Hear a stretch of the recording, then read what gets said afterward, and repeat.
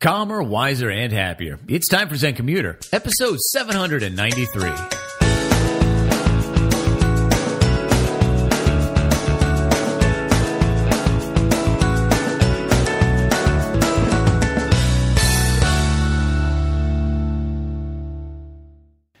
Good morning, travelers, and welcome to your morning Zen commute. I am your host, Tom Walters, and this is Zen Commuter, your Monday through Friday podcast aimed at moving you forward peacefully, helping you live a calmer, more satisfying life.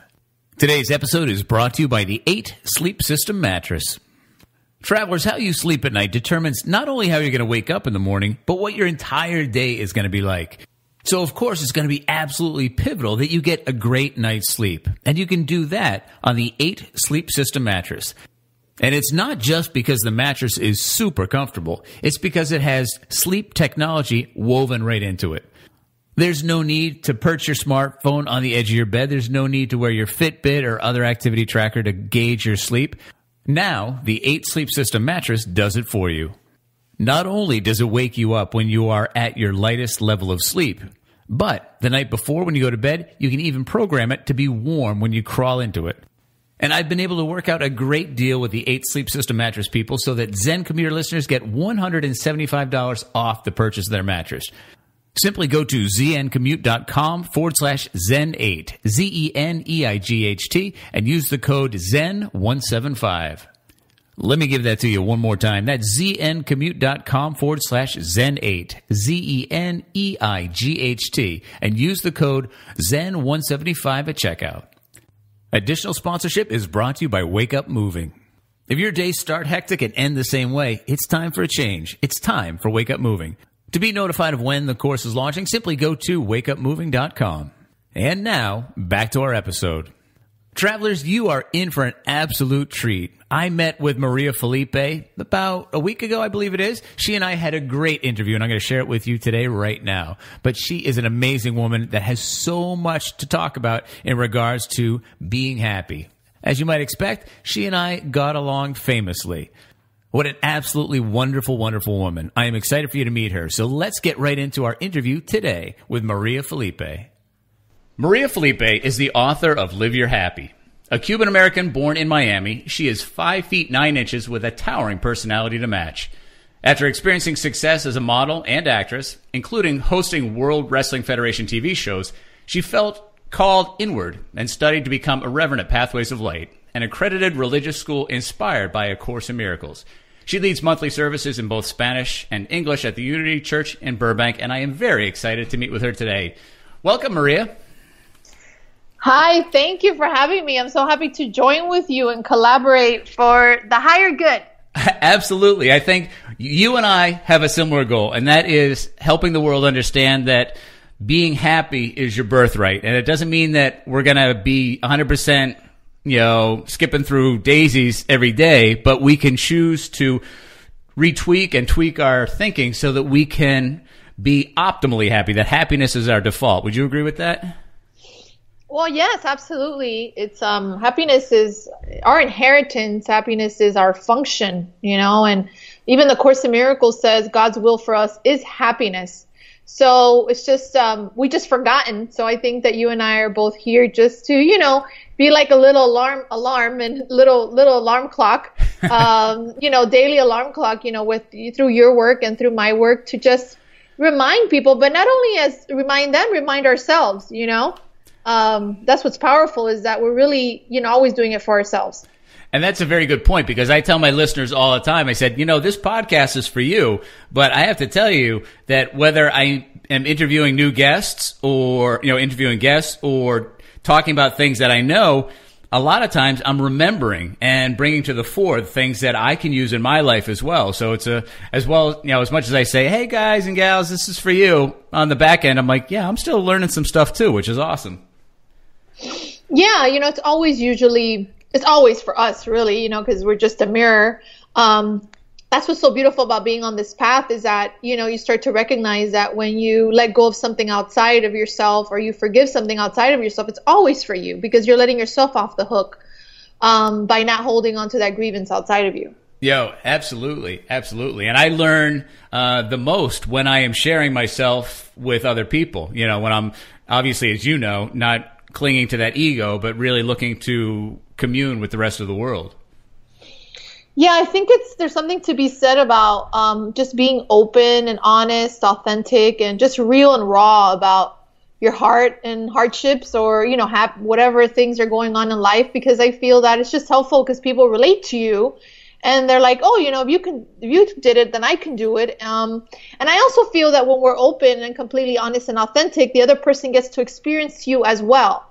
Versus of when you're pretending or or shut down, you know, you can't experience the other person and vice versa. So I feel that the openness is is really important. And not only that, I always say authenticity is sexy. You know, it just is. Absolutely. And it's so funny because for people who are looking to uh, find a significant relationship or not, I mean, obviously they should find it with themselves first, but I would agree with you wholeheartedly. People can see through BS a mile down the road. So if you're trying to impress a guy or a girl and you're just like putting on airs, chances are pretty good that you'd have a lot more success if you just said, "Hey, be who you are, warts and all," as my mom would say. Yeah, um, I, I, think that that's that's. I love that you bring that up because in reference to relationships, um, because I feel that there's sometimes a lot of pretending um, to get what you want, and um, it's not. That's not being loving, you know, or you're trying to act a certain way so that you don't mess it up so that the other person could like you more. And um, you can never really mess it up. You know, you're just you just do the best you can with the awareness you have in the moment. You know. Absolutely, and I think a lot of times one of the challenges that we may have as a, as a culture is that people put on those airs, and in doing so, the other person is kind of falling in love with um, an illusion. So when the reality of who that person is, as opposed to what they presented originally, you know, becomes clear, it's like, wow, this isn't what I really signed up for. You're not really who I thought you were going to be. You know what I mean? Exactly. You know, it's it's interesting because I had a client of mine that I was working with. One I used to do um, a lot more one-on-one sessions before, and um, she said to me she was really um, upset and sad because you know she had broken up in, with a with her boyfriend and they had been together for a lot of years, and she was upset because he was with somebody else. But the most thing that she was upset about is that she said she wished she wouldn't have acted like she cared too much that that she would have acted like she didn't care too much. That she she wished she hadn't shown him that she was jealous about this other girl, you know, kind of reaching out to him or whatever. Um, and and it's interesting how the ego, you know, the fearful part of our mind is so vicious, you know, because it's she's literally saying, "I wish I wouldn't have been myself, yeah. so that I can pretend to be somebody else, so I could be with this person." And it's sad, but that's what happens. That's what we do. And it's, you know? Uh, you know, everybody's got their own path, I say, but it's, it seems like ego is very strong. And that's why I'm really excited about your book because it talks about ego in a way that is understandable and like relatable. And I, I'm sure you may or may not have read uh, Eckhart Tolle's book, uh, A New Earth. Um, and he yes, ta- I have he talks about ego, obviously, and he talks about it very clearly and concisely, but it's not that relatable. So I, I, like the fact that when we talk about ego and we talk about our higher self, that people are getting a, a, different vision or a different version from a whole bunch of different people, whether it be you, whether it be me, whether it be Eckhart. And I love the fact that ego is becoming such a mainstream word. You know what I mean? Yeah, absolutely, because it needs to come out. You know, the, the, the, the, the definition and this concept of ego needs to be exposed because the ego doesn't want to be exposed. It wants to, you know, have private thoughts and it doesn't want to be exposed because it knows that you will heal um, when you expose the thoughts that it has within your mind. So it's, I think it's wonderful that it's starting to come out, this concept of ego, which is different than the worldly ego. You know, the ego world worldly is diff- they use it in a different way like that person has a lot of ego right or right. whatever um, in this case, you know, the ego, I talk about it in a way that it's a thought system in your mind. You, you know, so it's the part of your mind that is fearful. It's the part of your mind um, that judges. Is a part of your mind that is, um, you know, I should have, I could have, I wish I would have done it better. And a lot of people don't relate the ego to that. You know, they relate the ego to a personable person, you know, that's egotistical, right? Right, right. But in this case, ego is a thought system of fear in your mind, um, which I call also the cuckoo voice, right? cuckoo voice, um, that speaks a lot of caca, you know. Professionally speaking, of course. very professional, very fancy, very exactly. Exactly. That's Harvard speak.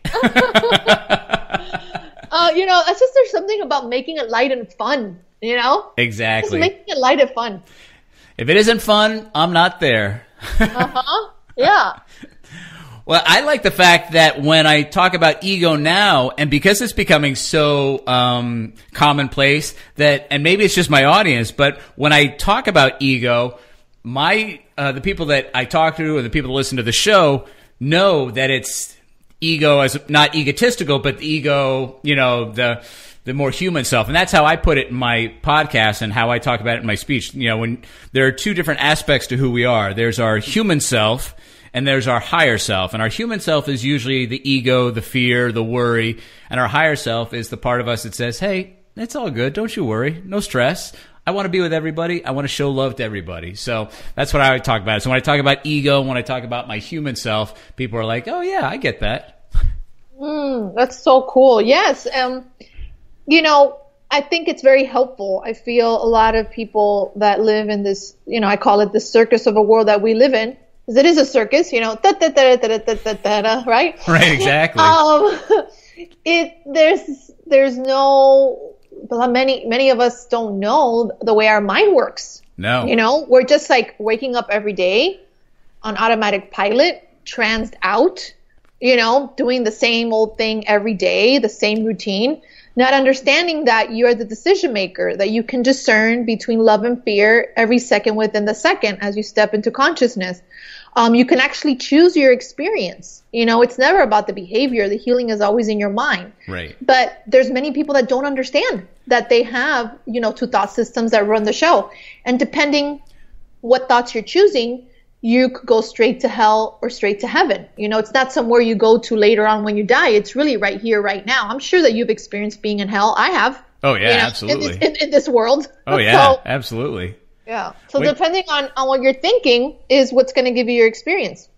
And to and to your point, you can turn off that switch at any time. You can decide which way you want to think at any time, literally with a thought, with a second. Yeah, exactly. The, that's why I always say the second within the second, literally, because you can actually just it's it's just really really comes to thought clusters. You know, whatever thought you're gonna, you can just stop yourself and then choose again. You know, and just choose again. I always say you can choose Holy Spirit again, which will automatically in that instant change your perception if you're willing. One of my favorite words when I was younger was cancel. Yeah, cancel or you know stop it. You know, stop stop it. Yeah, because my mom would say all the time, you know, I'd say something, I'm like, ah, I'm like, and she's like, get rid of that thought. I'm like, how? She's just like, just say cancel. I'm like, what does that do? She's like, well, the intention of the word cancel means that you are obliterating that thought. You're choosing something different, something more uplifting, something more positive. So when I was younger and I didn't have as firm a grasp on creating my own thoughts, I'd, there'd be days I'd go, I'm like, ah, cancel, ah, cancel, ah, cancel. Uh, that is so cool, and I love that your mom taught you that early on. What a, what a beautiful woman. You know, me, I, think of cancel like when somebody's talking to me. I've done that before. That they start to talk to me about something that I remotely don't don't align with. I'm like, okay, in my mind, I don't tell them, but I'm like, cancel, cancel, cancel. Oh no, no, no, please, please, please, no, no. Oh, cancel, cancel, cancel. No, no, no. stop, stop, stop, stop. Please, please, please. no, please don't poop on my party. Don't poop on my party. I'm really happy right now. Please, no, no, no. no, I'm good. I'm good. For me, I call it my psychic shield. So if I meet somebody new and uh, they just start unloading in a w- negative way, I'm like, "Whoa, shields up. Okay, okay, I'm protected now. It's just gonna bounce off me." And I'm just like kind of nod kindly with a smile. I'm like, uh, and it, I give people the, the three strikes rule, and I and I mean it to be as kind as possible. But you know, if I meet somebody and they just unload. It's like, oh man, I'm having a crappy day. You know, my dog is sick, and you know, my boss is being a real pain in the you know what. I'm like, oh, you know, first off, I'll say, um, I'm sorry that you're going through that. And you know, are there any things that happened today that are really good, that are uplifting? And if they are able to say, well, you know, this happened, this is cool. I'm like, oh, okay, cool. There's like some salvageable uh, nature here, and um, but if they say, no, it's just been a crappy day altogether, and if, you know, we go away and two weeks later, or a couple days later, I meet them again and it's the same thing, I'm like, you know, offer up some suggestions as how to tool their, you know, retool their thinking. And if they take it, that's cool. And if they don't, I'm like, I don't think they're on the same path that I am. So I think I need to just kind of jettison myself and say, best of luck to you. May you find what you're looking for. You know, obviously I'm saying this in my head, but it's like, oh, okay. I guess that wasn't supposed to be somebody that is going to be sticking around in my life for right now. Does that make sense to you? Yes, absolutely. You know, I, I love how you, you know, you honor your, that's self love, really. Um, that's honoring your true self, you know, with a capital S, I like to say, because, you know, you're, you know, you're just being in your authentic space of what you're going to allow into your consciousness. And, um, I think that's being loving. You know, I think a lot of people will be like, oh, that's harsh that you don't accept that person completely or accept their bullshit completely. But right. I don't, I, you know, sacrifice is not love you know actually it's the opposite. Yeah absolutely. Um, we're, we're, we're, taught in this world that sacrifice is love and you sacrifice yourself for love and um, you know it's not. So by you you know being you know the, the three strikes thing is like or what is it that you say? Three three something. Yeah three strikes yeah three strikes yeah. Three strikes um i think that that's a beautiful reflection of self-love to me. Because I think you know everybody has a rotten day every now and then, so that's why I make it don't just like not one shot deal. But if someone comes up to me and they're having, a, you know, they're unloading, and I'm like, no, maybe they had a tough day. So I'm like, if they come back a couple days later and they're still having that, they're in that space. I'm like, oh, I have a feeling that's who you are, not the day that you had. so more power to you. I send you light. I send you love, but I'm on my own path, and I think I'll have to go it away from you.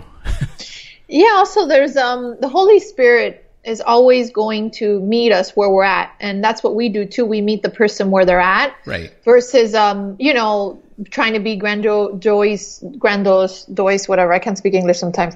Um grandiose how do you spell it like like bigger like bigger than the person right? Right. It's more of meeting them where they're at of like hey you know what? I get you. I get what you're going through. Although you know i'm not going to join you in your poo poo party you know? Right. Because because i'm not being truly helpful by by um um feeding your littleness you know and one of the most important things to me is to that point is to acknowledge that my way of thinking is not the way. It's it's a way that works for me. And if you are similar in nature, similar in energy, that's cool. And we're not going to be the exact same. But if you come to us, you know, if you come to this relationship as uh, positive and uplifting, then oh yeah, we can get along. But I would I never look down on people that are in a negative space or just on a different path. And that's how I say it. I'm like, you know what? Your path is not better or worse than mine. It's just different and it's not jiving right now. So I send you love and I send you light and hope you find what you need to make the best of you in this world.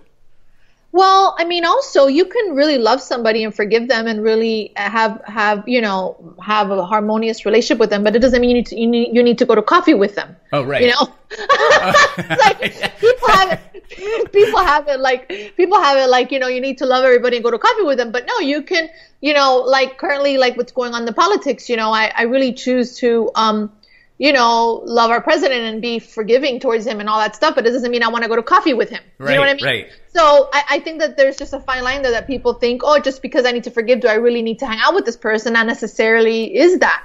That needs to happen. You know, um, it's just all all the change, like I said again, is in the mind, not in the behavior. Right. What do you think brings people to an awakening of the knowledge that there is free uh, free thought, so to speak. That you know you talked about earlier that people wake up and they just kind of go through autopilot, and that's one of my favorite words I talk about on the show all the time. It's like you know Zen commuters about being purposeful. So what do you think it is that wakes people up from going from just autopilot reacting to understanding that there is a different choice?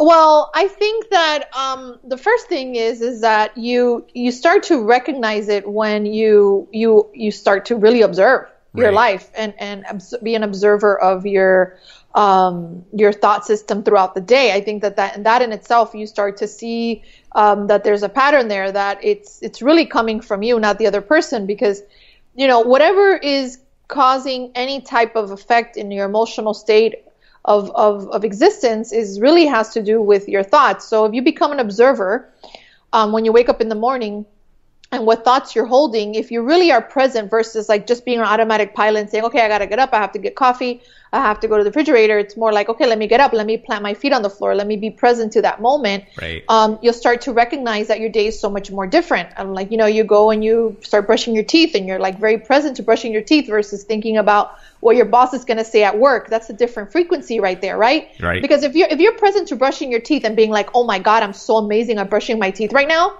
This feels so good." It's so it's it's so different than, "Oh my god, what's my boss going to say when I get to work?" or something like that. So right there, you're going to start to see that even your feeling in your heart, it's going to either constrict or release depending on the thoughts that you're having. And for instance, like for myself, if I've I've driven on the car and sometimes I've had thoughts of my mom. My mom is older and she has health issues and, and I've thought about her sometimes passing away. Mm-hmm. And I've noticed that the my thoughts are would, was give me the sadness. It's not like she is going to die. It's more my thoughts about her dying that Right. are making me sad, right?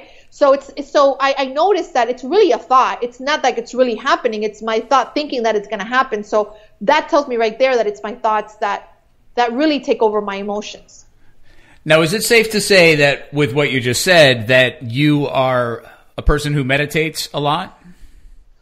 Yes, I do. I can't say that I do it um, regularly or a lot. Um, I I do. I am a very mindful person, so Right. I feel like I'm constantly meditating. Right. Because I'm I'm very very vigilant of my mind because um, the ego is very vicious.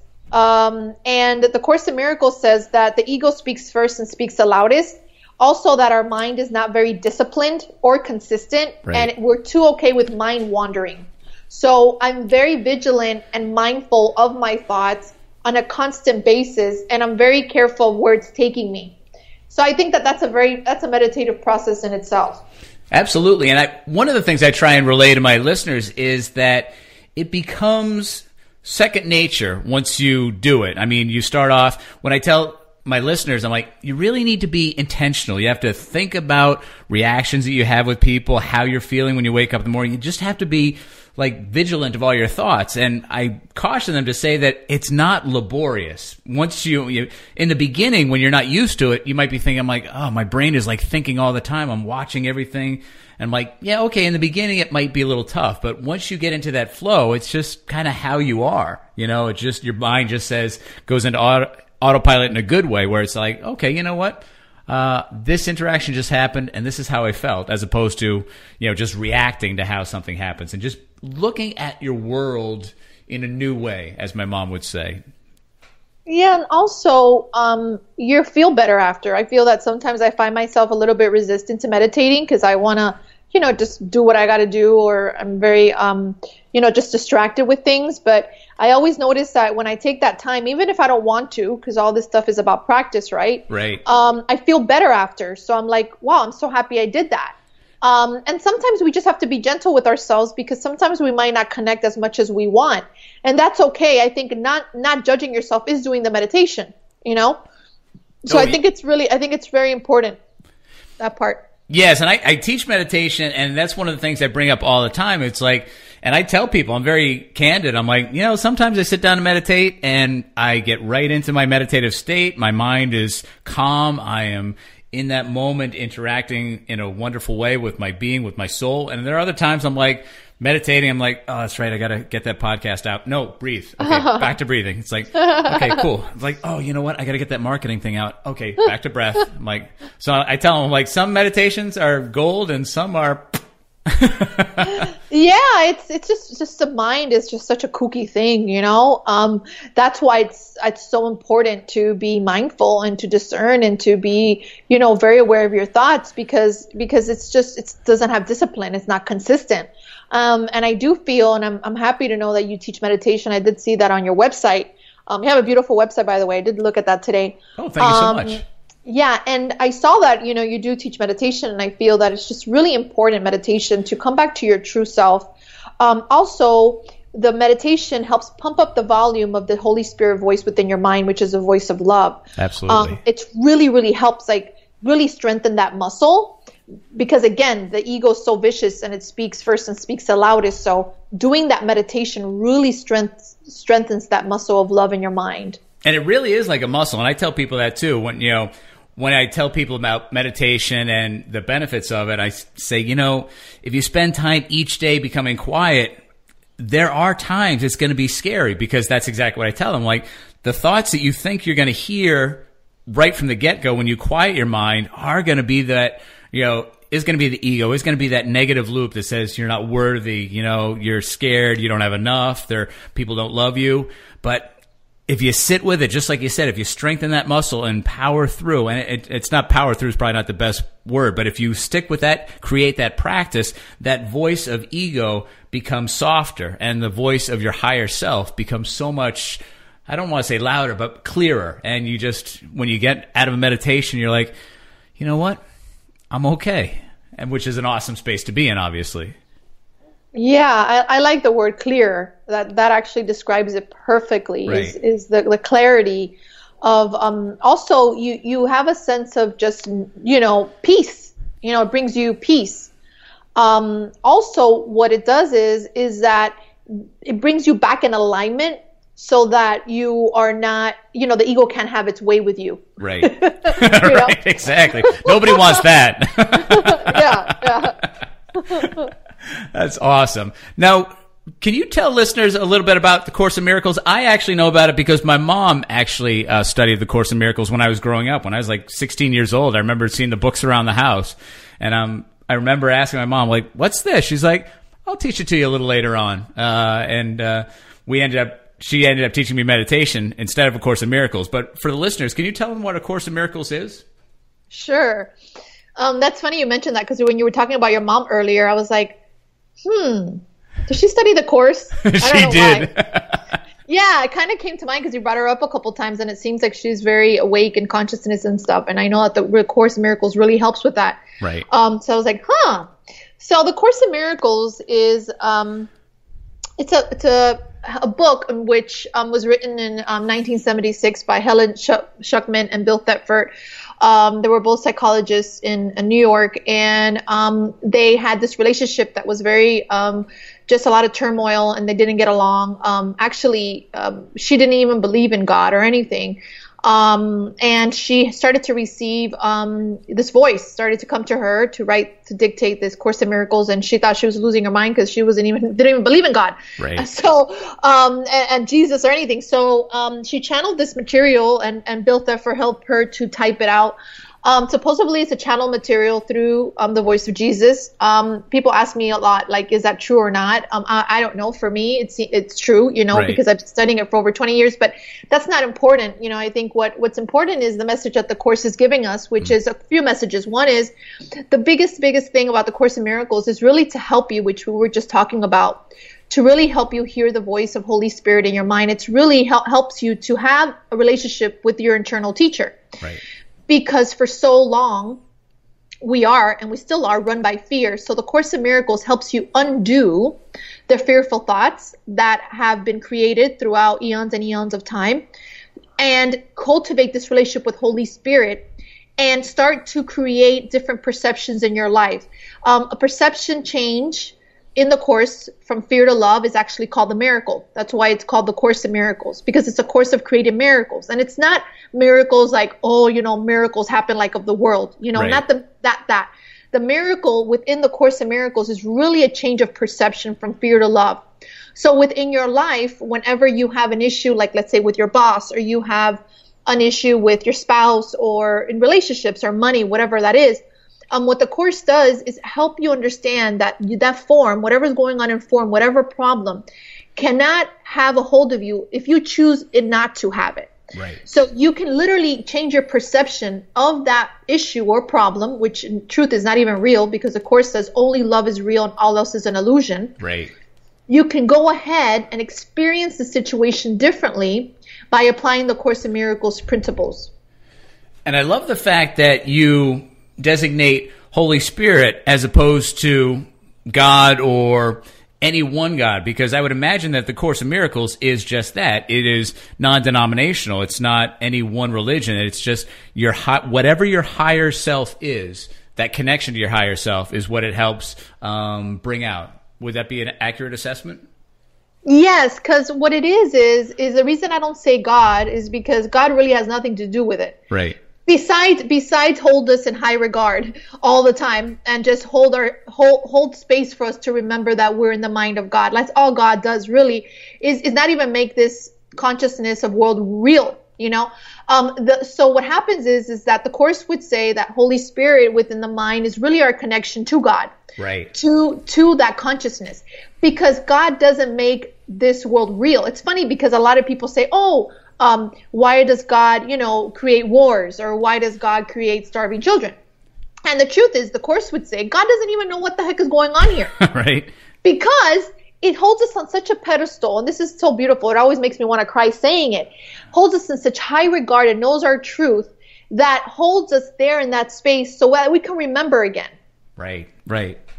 And that is getting back to meditation. That's why I am such a you know an advocate of meditation because just like you said when you silence all the fear all the noise all the worry and you connect to that uh, that holiness that higher version of yourself your higher self there is such a palpable connection that I feel, and I've had meditations that have been extremely profound where I literally have felt every living thing in my being, and it is just obviously very strong. Yeah, that is um that's that space that is eternal. It's that space uh it's really the experience of being in the mind of God. Right. You know? Um it's that space of oneness and then in that space you start to recognize, heck, you know, this can't be all there is is a separation this bodies you know um, there's much more there's much of more vast vastness and expansiveness um, you know this is not all there is is what i also feel that meditation teaches like there's a whole nother realm and whole nother oh, yeah. um, space that we are and we come from. You know, that's not of this of this world.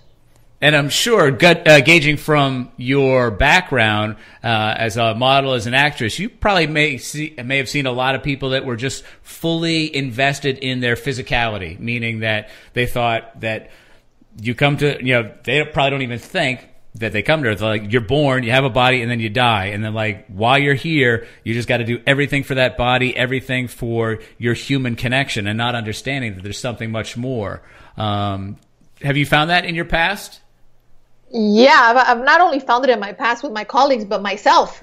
Right, you know? right, right. It's like um, all my twenties, you know, I was addicted to form. You know, when I mean form is I was addicted to um, my happiness and my source being outside of me. Right. Um, and that's something that collectively we suffer from in this world.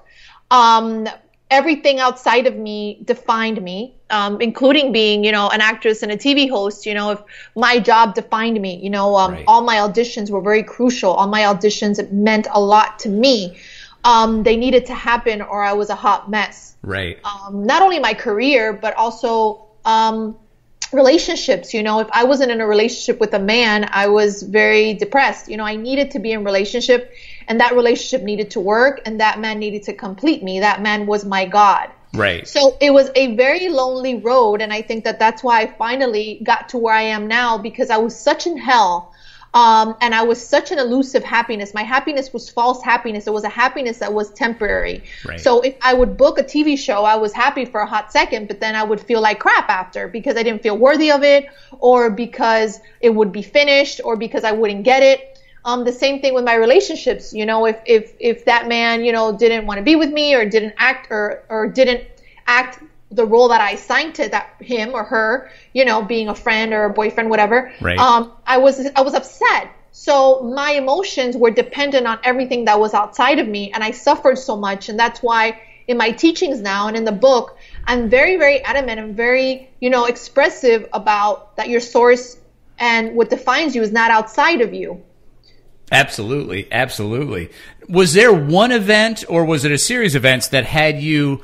Um, understanding, for want of a better word, your truth about you know you know before you talked about booking shows and all that and how empty you felt but obviously now you're in a space where like wow my life is amazing so what led you up to that point was it one event was it a series of events that happened uh, that got you to this point it was a series of, of events. It also was um, a lot of, a lot to do with willingness and um, no and living these principles without compromise.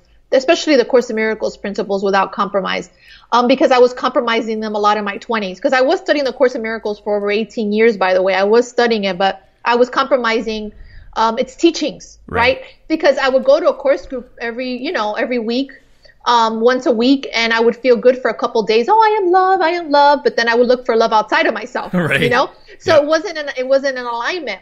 Um, that's why you know I mean, a lot of us could relate to this. I was like in self help desperation. You know, I would read books and watch Oprah uh, back in the day when she was popular and right. Anthony Robbins and all these things. I was just addicted to these books. And I remember that I never really felt like consistent happiness. I would feel good for a little while, but then it would go away. And, and that's why, you know, when things started to change for me was in 2009 when um, I went to ministerial school for a Pathways of Light to become a minister, but not to become a minister. It was more because it was a curricular program. I mean, a ministerial uh, credit, credit credited program on the Course in Miracles. So it was kind of like going to the University of A Course in Miracles. And nice. I went because of, I went because of that. I didn't want to be a minister. I didn't want to be a teacher of God. I didn't even want to write or be an author. Um, for me, it was like I was so tired of suffering Right. I was I was like such in hell. I thought that sooner or later I would die. Right? Yep. Because I was so addicted to the outside world that I went really to the school to for it to save me in a way. Um, and I went not to become a minister. On the contrary, I told the person that told me to go to the school, I was like, hell no, I'm not going to be a minister. I'm an actress and a model. Like, I don't want to be a minister. I was like, I was like, hell no, uh, that's not me. Um, but, but when I started studying, my my purpose and started to ignite in me and you asked me what made the change and what made the change was a you know always hard things in your life make you want to change one of them was my divorce i had a divorce in 2009 and that really catapulted me to start ministerial school which i did um, instead of going to psychiatrist i said let me do this you know this right. sounds more like an alignment to what i want to do and i began going there and i started to have a shift of perception of where the, the teachings were helping me really undo a lot of things in my mind and heal a lot of things of my past and really incorporated this um, thought system, which is what I share in my book, of really living principles at max capacity in your life with your relationship with yourself and others. That's when my life started to change, is when I started to bring these teachings into my experience. And that was a missing element and key that was lacking in my 20s. Right. right? I wasn't living it. So the, the book is called Live Your Happy, but it's really called Live A Course in Miracles, but I, I couldn't use that because that's already played out. I was going to say, copyright patent pending. but I used it like Live Your Happy, which means like really being in the world and you know you're in the world, but you know you're not of it. Right. And that you lack nothing and have everything. And I really needed to get to that space without compromise. And that's what was missing. So I wanted to write something that didn't speak more to your intellect and to your mind as much as it spoke to your heart and to inspire you to go out there and live this stuff. And I am, I, and I, you know what? I will speak for my listeners as well. I am very thankful that you did. And anybody, you know, any, anybody listening to this show, I would encourage you so much to pick up the book. It is absolutely amazing. So thank you for bringing it to light.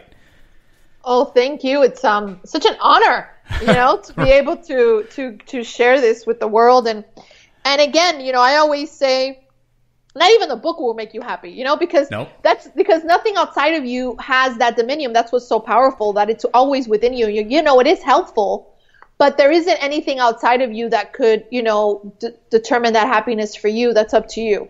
No, and exactly. You bring up a good point too about um, people that kind of, I don't want to say get addicted. That's kind of harsh, but you know, going to self help uh, seminars and all these different personal development things and just really just coming out you know, like you said, for a half hour, they're like, oh, this is cool. And then an hour later, they're back into their old patterns and they're like, oh, my life sucks. It's like, oh, man. And on some level, I'm excited that people are drawn to that because it means that their soul is kind of on the, uh, you know, kind of like ready to break free. So, but there's like one missing piece. It's going to kind of make that whole, um, transformation complete. So the fact that they're looking for something is awesome. Hopefully within that realm, they find out that it isn't anything outside of them. It's what's it, what's inside of them that creates that transformation. Yeah. And, you know, again, I feel that you know, there's just something to be said about really just being willing, you know, Yeah. at, you know, between one and 10, like out of 10 to be just really willing. You know, I feel that, you know, yeah, you, you can go to these, you know, seminars and it is showing a sign of willingness. Although, you know, I think that now the time has come just because we've been run with so much fear for so long Right. that I feel that there there should be this element or, or would be helpful. I don't want to say the word should, but more of it, Right. it will be helpful if if we start to really want to have this change take place. Um, because we're worthy. Again, we started the show with this, which is your function is happiness. You know, God's will for you is happiness. So I feel that now it's like the no compromise zone. You know, it's just been way too long. You know, Yep. just way too long. Like that's it. You know, I'm done. I'm done. absolutely, absolutely. Now, when is the Course of Miracles talk about community? Because obviously, you said you went into the Course of Miracles to kind of not save yourself, but kind of help yourself transform. What made you go from transforming yourself to saying, you know what, this is pretty powerful stuff that might be helpful for other people? So what made it so that you didn't just live the Course of Miracles for yourself and instead decide to share it with the rest of the world? Well, um, the Course in Miracles is a self-study program. I mean, the Course in Miracles does not say that you need to start a church, a community, or Right. even do a group. That's something that has formed because it's helpful. Um, but but the Course in Miracles in itself is a self-study program, and a lot of people do it that way. In my case, I really wanted help with it because it's very deep and dense. Um, so I went to you know this university that is based on a Course in Miracles, which is Pathways of Light. Um, although um, what I'm what it is really what what got me to get to this space was I mean it's not that I, I I started to it was kind of a very natural thing for me to start teaching um because and it started because I, I was a ministerial program and I and I and have a TV and hosting background so I was kind of inspired to really speak about these principles just because they were so helpful to me. Right. So I started to speak at Unity of Burbank. Um, it was given very easy. That's what happens when you live in purpose. Um, Right. There's there's no manipulating. There's no trying to make anything happen. It's just it really comes to you. Um, and I always say easy is normal. You know, it's really easy. And I started to get um, you know opportunities to speak at Unity of Burbank, and eventually I got an opportunity to start the Spanish ministry there in 2012, and still doing it to this day. And then I started a and then I started a group every Monday. Um, but even I didn't even want to write a book. I mean, I, the book came because I, I was drinking Pinot Noir. Um,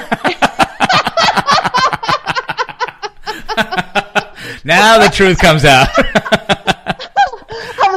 Pinot Noir, and I and I put a post on Facebook that I thought sounded like a book, like a book excerpt, and I was a little bit ballsy, and I wrote um, I wrote excerpt from my book when there wasn't no book. um, it was it was a it was a Pinot Noir talking, and um, I had Patrick D. Patrick Miller, which is my agent and editor of the book, um, which is also a course writer and a course student, and um, he reached out to me and said, "Hey Maria, you know I'm always interested in P- Course of Miracles teachers that write a book," and um, and I was like, "What the heck is this guy talking about?" Isn't that funny? Then I remembered that That's the night awesome. before I had written a post on Facebook and I totally forgot about it. I was so embarrassed, so embarrassed. He called me back, and um, he he didn't call me back, but he wrote me another email because I didn't respond to the original one on Facebook. And um, and then I finally told him, listen, Patrick, you know, I'm so embarrassed, but I really don't have a book. You know, it was actually I was drinking Pinot Noir. I was a little bit, I was a little bit buzzed, and it was a Pinot Noir talking. You know. Um, so that's how my book was born. It was because you know Pat, D. Patrick Miller believed in me. He saw my work on YouTube and my videos, and he told me I spoke about happiness. And I was like, I do. I had no idea I even spoke about happiness. By the way, um, he says he says yeah. Every other word is happy this and happy that. And I was like, oh my god, really? He's like, yeah. And then um, he kind of really pulled my arm and inspired me to do a book proposal because I suffered from dyslexia all my life. Um, I don't like reading and I don't like writing. Um, I'm, I'm very, you know, I am street smart. I'm more business savvy. I'm more of a talker, you know. Right. Um, I don't like writing that much. So I was a little bit like not interested in it until he told me that, you know, to just give it a shot. And I think that he was so gentle and loving with me and really believed in me and walked me through the steps because he has already published so many books before nice. um, that he really helped me um, gain confidence and and I wrote the book. You know, um, regardless of all my adversities and everything that I thought about myself and my negative thoughts about it, Right. Um, and fearful thoughts about it, I was able to get over myself, which is the whole subtext of the book is get get out of your own way, right? Yeah, exactly. I got out of my own way of thinking I was limited, thinking that my dyslexia would take over, or or you know I'm not going to be good at this because I'm not a good reader or writer, I'm not good with grammar, or I don't feel like I'm school school smart. I've never thought I was school smart or intellectual or intelligent. Right. Um, so Patrick really helped me to integrate like all these these this these like really believe in it, and um, within the Facebook post and the book deal was exactly six months. Wow. I am Yeah. I am thankful that a bunch of grapes was responsible for your book. Liter- literally it's it's such a it's like such a beautiful story about um just such miracles. It's so miraculous for for it, the book deal to come through that. And and that's what happens when when you're just like living in purpose. I wasn't a point in my life you know aside from the pinot noir that i was so open Right. and so living in alignment and purpose with my work that that's what happens you know you're sustained by the love of god um, and and th- and the universe will show up to support your purpose. And I'm sure that you've experienced that as well. Absolutely, absolutely, and that I, you put it so perfectly because it is right. And in fact, I had an episode of Zen Commuter the other day. I don't know if it was Zen Commuter Five Minute Mojo, on my other show, where I just talked about you don't really have to force everything. In fact, you don't have to force anything. If you just let life unfold, you'll be amazed at how easy it is. Absolutely. And you know, the word that's coming out right now, like very strong, is trust, you know? Yep. Um, which is not the typical trust of the world, like I trust you because you're a good person, you know, in the Course of Miracles in my book, trust is, you know, really allowing yourself to be guided by the love in your mind, like really allowing Holy Spirit to take over and show you what to say, what to do, how to be, like really just let yourself be guided and let go of manipulating, trying to make happen, and allow yourself to be shown. And then within that, you're filled with such wonder and such joy. And there's just everything is revealed to you versus of you needed to control. You know, I feel that we are not happy a lot of the times is because we want to control everything. Yep, absolutely. And it's exhausting. Oh, it, it, well, that's what I said in this post or in this uh, episode. I'm like, you know, when you get it done with the day, if you're tired, it's probably because you're like trying to force the day to be your way. Just like, just let it be. As my mom would say, my mom's favorite quote is "Trust the process."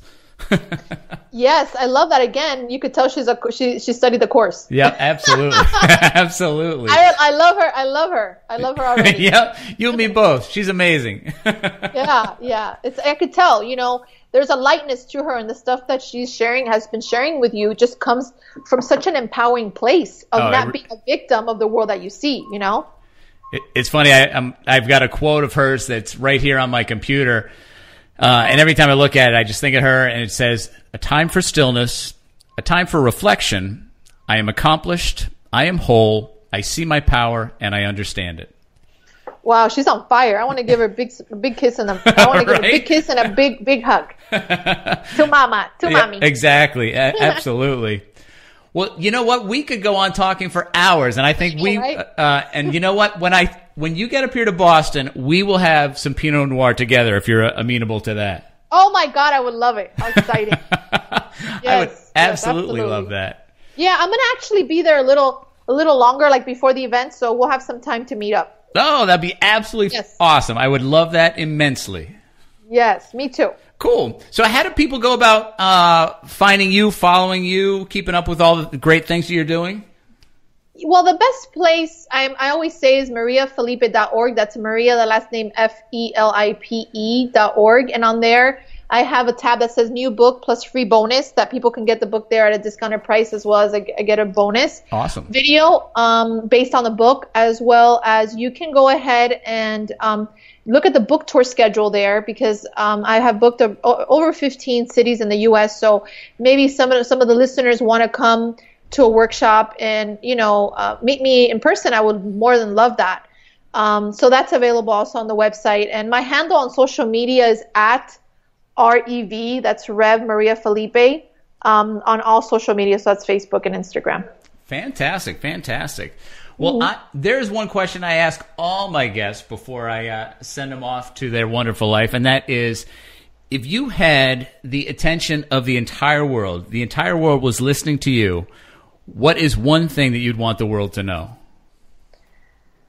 Well, what I would want them to know, which is what's coming up very strongly right now, is Right. to um, really, really understand that your source and your source is not outside of you, and nothing outside of you defines you.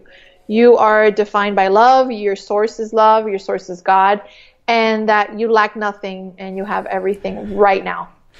Amen. that is absolutely awesome. Awesome. Hallelujah! awesome. Hallelujah! yeah, I like that. Hallelujah. Hallelujah! Cool. Well, Maria, I want to thank you so much for your time today. It was an absolute pleasure, as I knew it would be, meeting you and talking with you today. And I look forward to when we get together uh, face to face. Me too. Thank you. There's always just something to be said about joining and collaborating for the higher good and sharing a message of love and happiness. So I'm really honored to join with you. As am I, my friend. You make it a great rest of the day and a great weekend, and uh, I will talk to you real soon. You too. Bye, everybody. Much love. Much love indeed. Take care. Thank you. Thank you. Now that is a perfect way to start a weekend. A great interview with Maria Felipe and myself just talking about ways to be happier. So, my friends, you go think about the things that Maria and I talked about. I'm going to be here tonight with another episode of 5 Minute Mojo in the evening and another episode of Zen Commuter in the morning on Monday. But for right now, this is Tom Walters for Zen Commuter signing off, saying, make your day, your weekend, and your life absolutely spectacular.